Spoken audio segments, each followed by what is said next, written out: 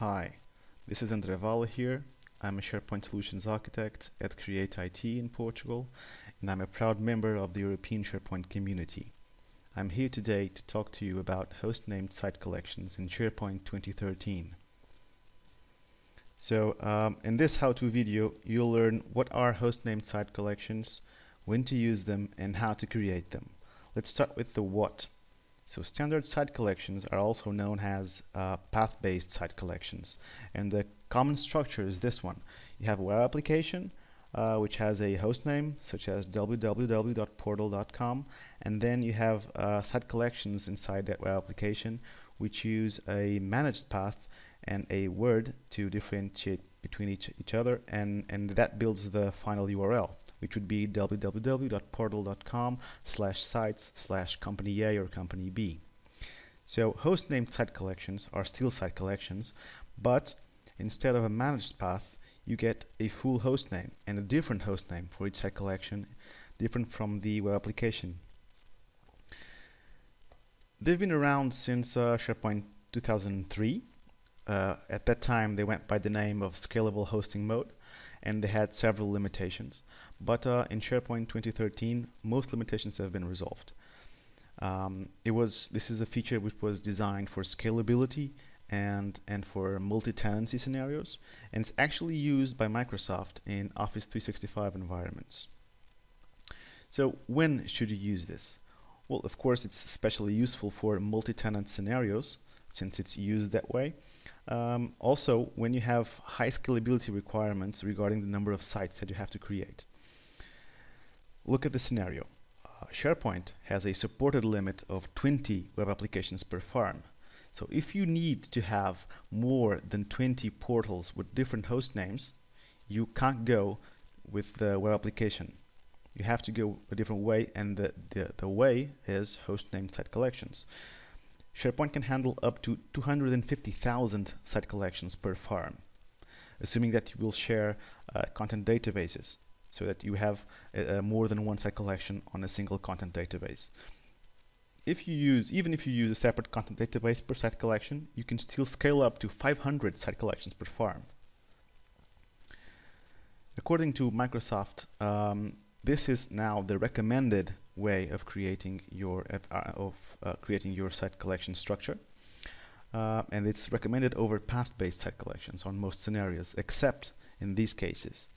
If you need to use multiple application pools, if you want to have multiple service application proxy groups, uh, if you want to use different authentication methods for each site collection, because in this case, since all of them belong to the same web application, you'll have to use the same configurations that are defined at the web application level. Also, if you need to use the self-service site creation feature, this is not supported for host name site collections. So that if that's the case, you have to go some other way. Finally, if you require SSL termination, but your SSL termination device cannot be configured to produce a specific custom HTTP header, then you have to go another way too. There are uh, documentation about this specific scenario online on, on TechNet. So how do you create host name site collections? First of all, you cannot create them in central administration. You must use PowerShell commandlets. Here's the process. First of all, you create a web application. You configure an IIS binding. And then you create a root site collection, which is required for crawling purposes. And then you can create your host name site collections, any number you want. And then, if required, you can set alternate URLs for each host name site collection. So let's go to a demo. I will just demonstrate how to do this on a uh, SharePoint 2013. Okay, so for the demo, I will be showing you how to create uh, host named site collections following the steps that I've highlighted on the previous slides. So this is the central administration portal for SharePoint 2013. This one is empty, has only the default uh, two applications. One for central administration, the other for the app uh, catalog. You can also see that uh, in IIS there's only the the same uh, default websites and for the, the, databases also only for the databases used in, by the service applications. So the first thing, let's just open here the PowerShell ISE. So just first you have to add the snap-in for uh, Microsoft SharePoint. Afterwards, I have a bunch of uh, parameters here to help me with the script. Uh, next, we have to create an authentication provider. In this case, we'll be using Windows Authentication um, for the web application.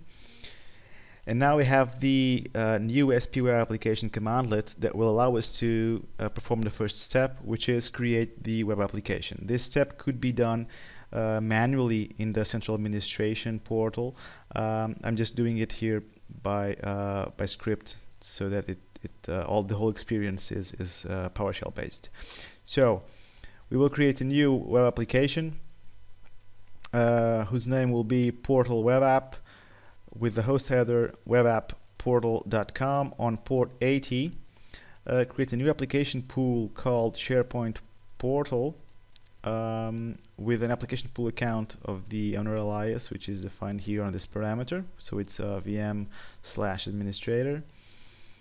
And then we'll create a new database for content called um, WSS content underscore portal will will allow anonymous access and we will um, also use the authentication provider that we just created on the previous line so just to check if this works let's just select this and run the selection.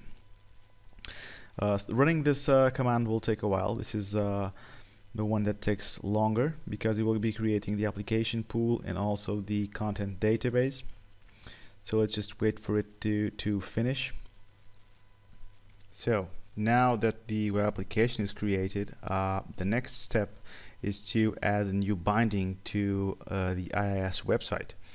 So you could do also do this uh, this operation directly on the IIS manager. So uh, in practice, what we're going to do is create a new binding for the the, the website for the host header star and the IP address star, which means any host header and any IP address will always map to this website. It will be uh, SharePoint's um, job to um, separate which uh, request goes to which site collection. Okay, so this is actually a requirement, and this is also why um, it is uh, recommended that you have a single web application, because all the requests will go will be um, will be treated by that uh, single web application, the, the single IIS website. So let's just uh, run this. Okay, done. Let's just check uh, the status of, status of things. So going back to SharePoint, let's just refresh this. We should have a new application here. In the meanwhile, while it loads, let's just go to IIS, also refresh this. Okay, here's the portal web app. If we check the bindings for it, now we have this binding here, which is uh, for any hostname and any IP address on port 80 and uh, protocol HTTP, which means all requests will be directed to this website. Okay, here it is, the portal web app. So now the next next thing we have to do is create the three site collections. We have to create a, a, root site collection. That's a mandatory step, although even if we don't actually use it. Um, and then we have to create the site collections, the host name site collections, uh, the, the ones that we want. So all the three lines are, are the same. The first one will have to be the root site collection, so we'll call it uh, root.portal.com. This is the magic parameter here. So this is the, the parameter that will um, group all site collections um, and, and state to, to and tell SharePoint that these are host name site collections inside the web application. Um, and, and it's the, the host the, the web app host header is used to to map them to, to bind them together. So the first one is the root site, then the next one will be for company A and the third one for company B. They're all the same. The difference here is the the first one uses the root site template uh, and the other ones use site uh, site template which uh, is defined here has a parameter so the the root site will be um, a team site and the the other the, the other websites will use a publishing site site template. So uh, you could use all the same templates for all the the site collections. That's that's doesn't matter for this case. All will be created in English which is language code 1033 so let's just run these three um, instructions.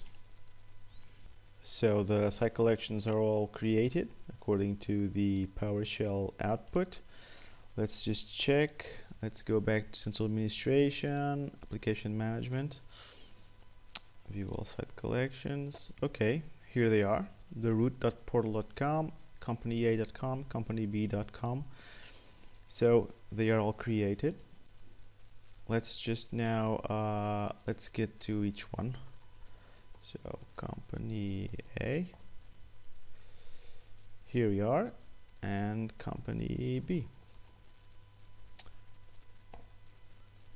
okay so you as you can see by the URL um, we can we can get to the site collections using a host name actually different host names actually even different from the host name of the web application.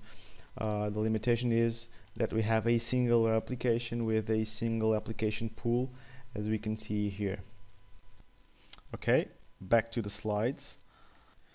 Thank you for uh, watching this how-to video see you next time